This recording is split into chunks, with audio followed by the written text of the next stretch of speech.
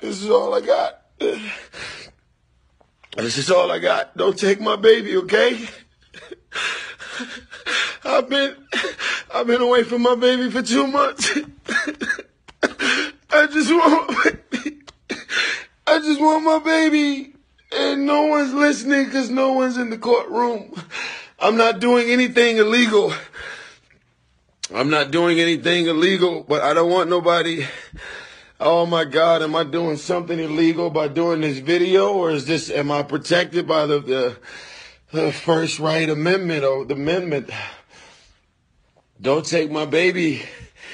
I'm at thirteen thousand dollars a month. What more do you want from me? oh my God.